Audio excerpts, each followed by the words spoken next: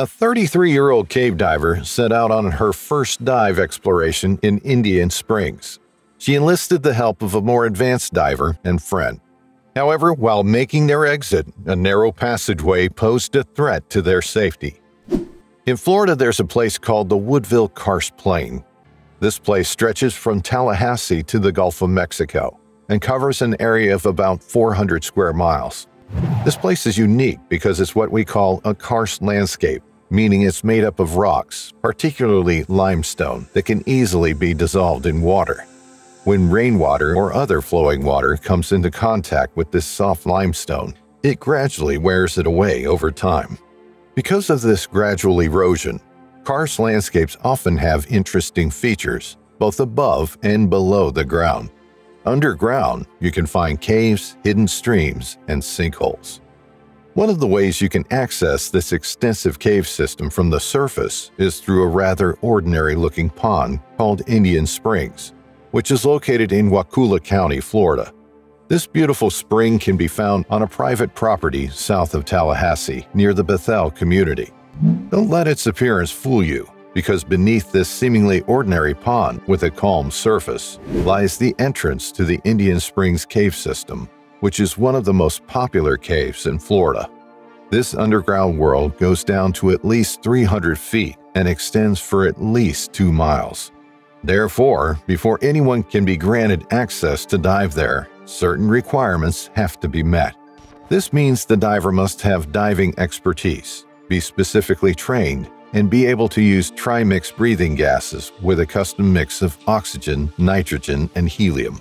Apparently, for any diver to be able to meet these requirements, it means that they have undergone adequate training that qualifies them to navigate the underwater world of Indian Springs safely. It is advised that those with less experience dive under the supervision of a qualified guide at all times. Ella Parker was a 33 year old divorced storekeeper. She fell in love with diving while she went on a trip in college, and ever since, she's made it her life's mission to dive everywhere she finds a cave.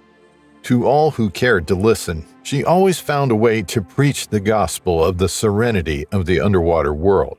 The day she became certified as a cave diver was one of her happiest, and she even threw a party. Ever since then, she had gone on almost 150 cave dives. One day, she read about Indian Springs and had since set her sights on the cave.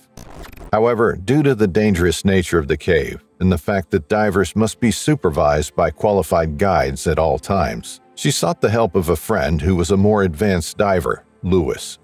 Luckily, Lewis was down for the dive, and they began preparations for the dive day. On that bright morning, Ella and Lewis arrived at Indian Springs and were prepared to enter the water. They walked toward the spring, which is a little pond that is visible in a clearing surrounded by trees. They walked toward the boardwalk that goes down to the water side. After suiting up, they went over their dive plan again, which was to dive all the way to the Wakulla room, which is approximately 4,500 feet upstream. During their preparatory dive, they had set up stage tanks in different locations within the cave. Lewis dipped below the pond surface, and Ella followed closely behind. Slowly, they dove to the bottom of the pond, and soon they could see the cave entrance. When diving in Indian Springs, once a diver gets to the pond floor, they can see the cavern that eventually turns into Indian Springs Cave. Ella was amazed by the beauty she was seeing, and with Lewis still in the lead, the divers went through the cavern, leading them into a tunnel. This tunnel went on for a couple hundred feet until they got to an area known as Squaw's Restriction. At this point, Lewis looked over at Ella and asked if she was fine. She gave a thumbs up signal to indicate that she was okay, so they continued on their journey. Right from the Squaw's Restriction, the cave began to grow narrower, so they had to be careful not to disturb the mud in that section which could lead to reduced visibility. After going on for a while, they got to a point in the tunnel that they had to slow down and go through one after the other with their equipment. Lewis went through first, and once he had exited the tunnel safely, Ella dove through next, and she ensured she was really careful. Eventually, she made it through. At the other end, she met a waiting Lewis, and looking around, she saw that the tunnel opened up to a series of windings. It was a spectacular sight because these tunnels are made of rough yellow and white limestone. It was a beautiful sight to behold. However, at this point, they ensured they were guided by permanent guidelines that were fixed in this section. The area is prone to silting out easily, hence the permanent guidelines, which usually cover the entire area. From here, Ella and Lewis dove through the winding tunnels, and this was the pathway that would lead them to their destination. Later, they finally got to the Wakulla room, which was a huge room. Ella was so happy that she gave Lewis a high five. It was more beautiful than she had imagined. They began exploring every section of the room. After a while, they began to exit. While diving back, they got to where they had staged their nitrox bottles and they picked them up. They still had enough gas to help them make their ascent successfully. At this point, one could think, what could go wrong?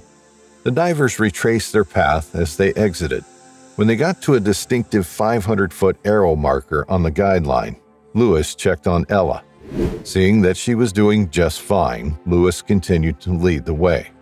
They dove through the winding tunnels, and the next stage was to head to Squaw's restriction through the narrow cave.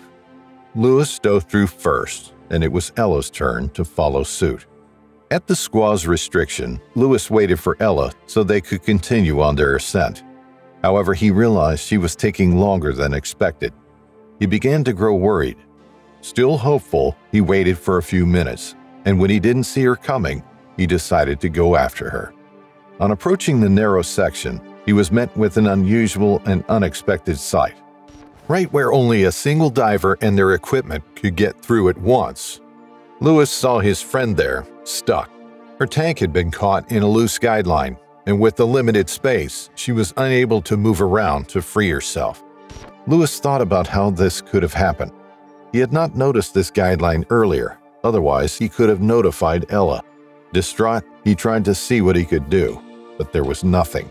Furthermore, he realized the section was gradually getting silted out.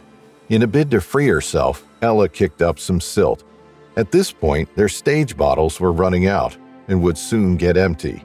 This was horrifying to think about. Lewis tried directing Ella on how to twist and turn, but it only resulted in more silt disturbance. And when he checked his pressure gauge again, he realized the air was getting critically low. With a heavy heart, Lewis had to summon the courage to leave Ella there and go seek help. He was hoping that a miracle would arise in this hopeless situation. He assured her that he was going to get help, even though she did not want him to leave her alone. Fear was quite visible across her face, and her eyes begged to be saved. Then, almost completely out of gas and with fear in his heart, Lewis raced up to the next set of bottles, which was a hundred feet up.